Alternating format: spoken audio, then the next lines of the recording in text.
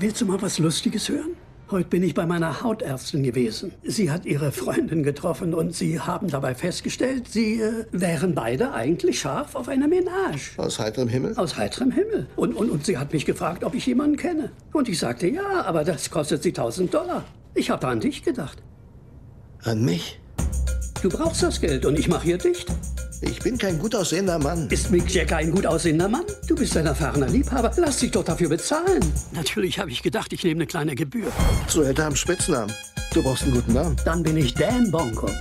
Ein echtes Vergnügen, Dan. Vielleicht sollte ich Ihren Freund erst mal ausprobieren, alleine. Nur er und ich. Sie machen das öfter. Nein, ich meine, Ist mehr eine Teilzeitbeschäftigung. ja, kann man so sagen. Sie gibt dir Trinkgeld? Mhm. Kellnerin machen es so, sie schmeißen alles zusammen und äh, dann wird geteilt. Wir haben neue Kundschaft und es wird mehr. Woher? Ja, Mundpropaganda. Hi, Gottes Segen, meine Damen. Ist der groß? Ja.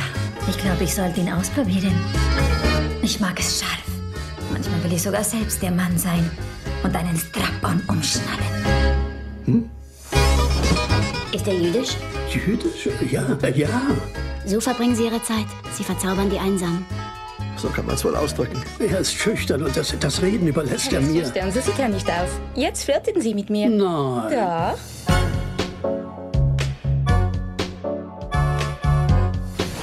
Jeder Mensch braucht doch Nähe, er braucht Liebe und Zuneigung. Sie haben noch im Ohr, dass er für einen Dreier zwei 2000 verlangt. Aber es sind verletzliche Frauen. Betrachte es als Performance. Sie wollen ein Schauspiel geboten bekommen. Machen wir die Menage. Sag's Bongo. Ja, Dan Bongo.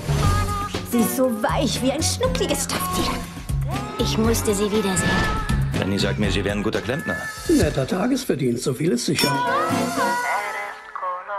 Haben Sie schon mal mitgemacht bei einem Dreier? 1977 bei dem Stromausfall. Niemand konnte was sehen, aber es war trotzdem sehr vergnüglich.